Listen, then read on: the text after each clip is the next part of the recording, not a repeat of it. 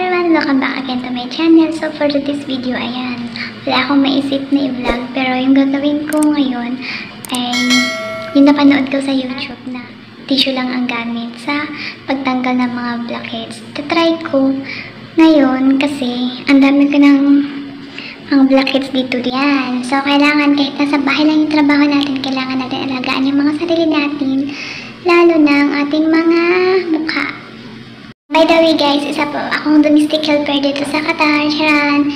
Dahil may sarili kaming kusina. Ayan, dito lang tayo kukuha ng itlog. Ayan, pero kung wala kayong itlog, ayan, nakaw-nakaw din kayo ng itlog ng mga madam nyo. diba, nakaw-nakaw. Pero kami may sarili kaming kusina, ayan. So, ayun, ito lang. Ta tsaka, ito lang ang gamitin natin ngayon. Magkukulagay natin na. So, ayun guys. Tanggalin ko na yung white. Ganun lang yung pagbukas ko. Unti-unti lang. Ayan, para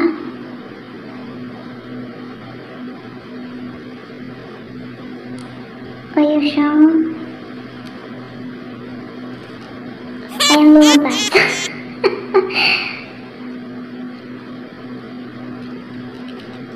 Ayan. Para hindi sumama yung yelo niya, kaya kunti lang yung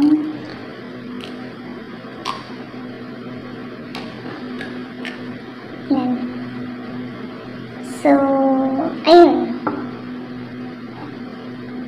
May kunti pa siya dito. Hindi ko nilahat. Kunti lang kasi baka kunti lang yung mga gamit natin.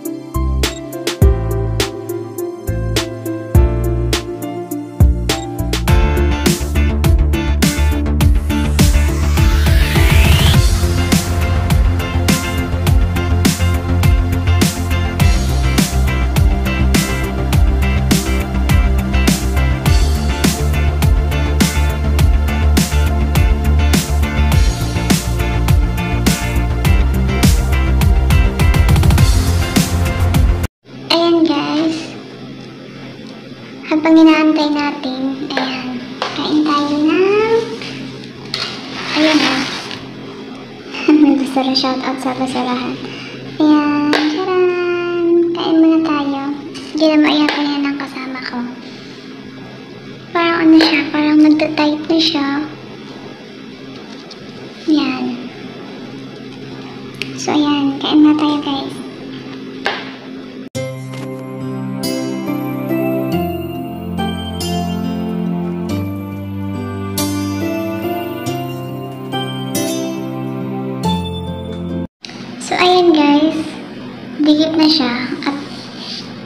Tatanggalin na natin.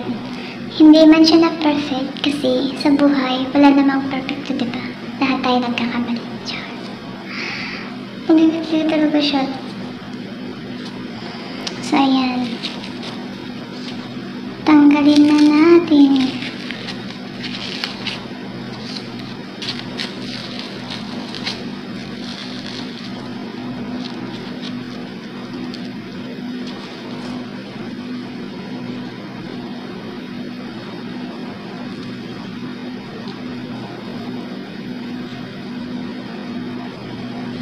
Dito pangit hindi siya masyadong tumikit. Mas maganda kasi yung may brush kaysa sa ano.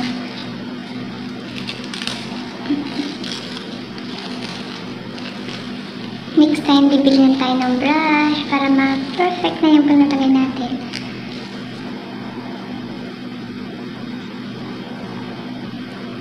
Ayan, ang ating ilong.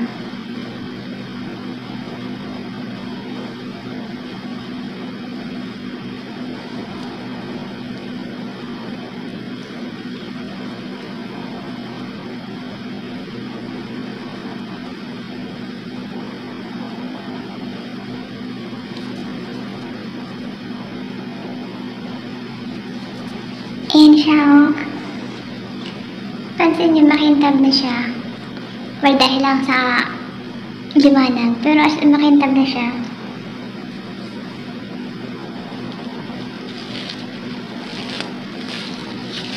Ayan.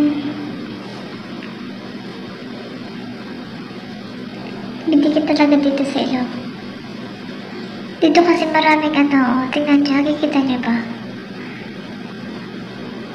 Ang daming itim-itim dito mga blackheads, whiteheads. Dito.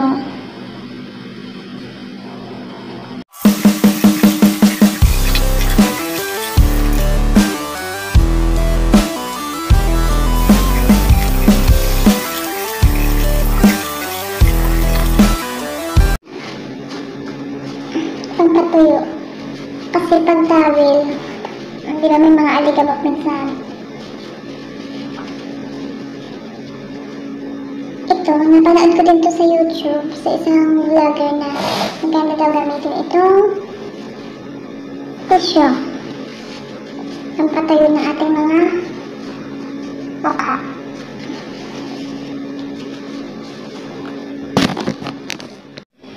So, ayun na guys. Ayan. Nag-light na siya dito. Kita niyo ba? Meron pa siyang ano, itim-itim pero kunting-kunti na lang. And ano siya, parang makinis na siya, makinis na siya ganunin. Hindi katulad kanina na magaspang siya, ang gaspang dito. Tapos may mga itim-itim yan dito.